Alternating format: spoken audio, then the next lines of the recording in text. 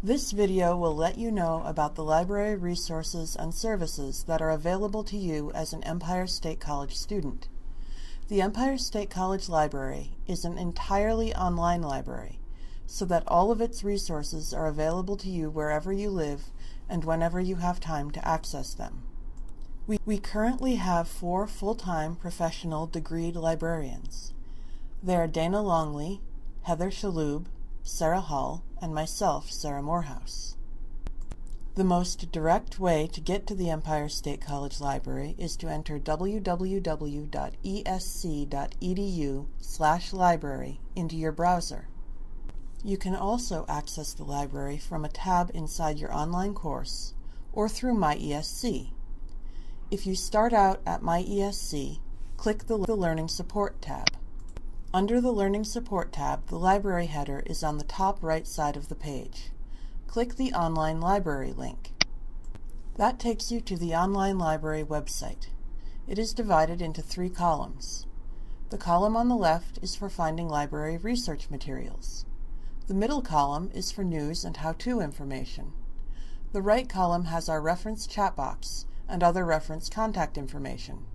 You can use that to ask us questions any time of the day or night. At the top, there are tabs for Home, where we currently are, New Users, Graduate Students, Faculty, About the Library, and Help. I'm going to show you the Help tab now. As its name suggests, this is the place to find out how to use the library and do research. It doesn't matter if you're a complete beginner right now, because that's where everybody starts. And if you already know how to do college research, we're here for you too.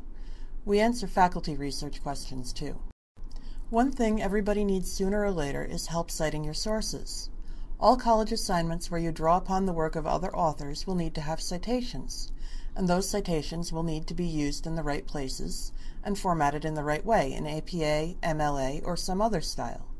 So if you need help with that, click Cite Your Sources.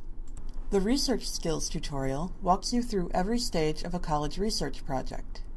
Library Self-Help is a page full of videos and handouts explaining how to use the databases and other basic library and research skills. The Library FAQ is a searchable resource of common questions. And the tour of the online library shows you how to navigate the library website, but in more depth than this video does. You can also sign up for library workshops that help you with different phases of library research like searching databases or citing your sources. These are delivered online in the evenings. On the right side of the Help tab, just like on almost all library web pages, is the chat box. It has two different modes, and it is currently showing the nights and weekends mode. We now participate in a program with college libraries around the world so that we can offer chat reference 24 hours a day, 7 days a week.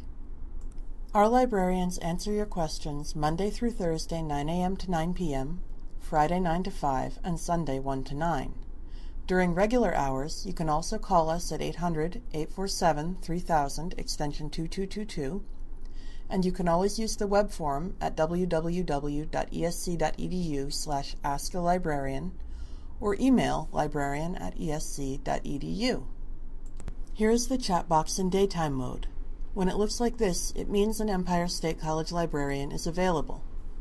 You can ask for help with any stage of the research process, from narrowing down your topic, to searching for resources, to finding a specific book or article, to understanding research concepts like scholarly sources or primary sources, to citing your sources.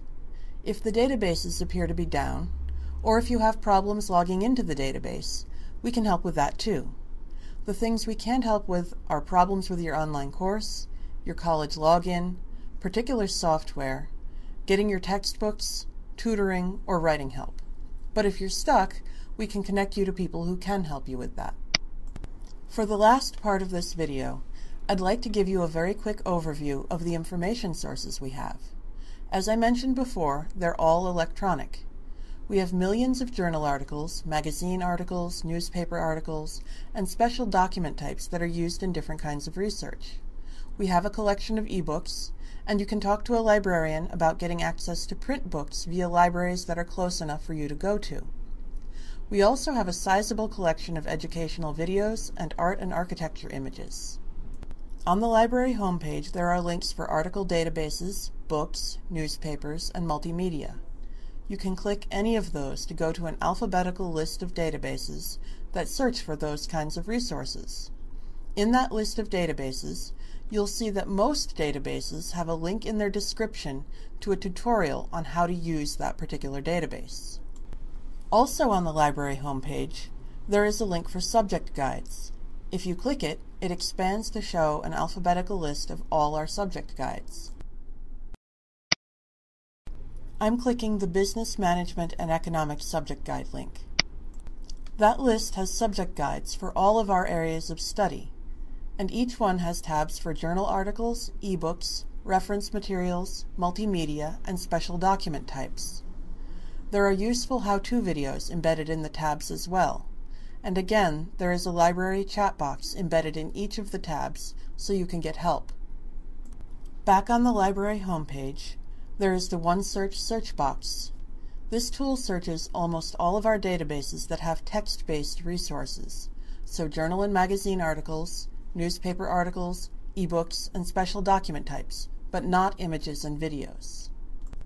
This is a good place to begin your search, and for some multidisciplinary topics, it may be a good place to search in general. However, you'll be able to get more precision in the individual databases.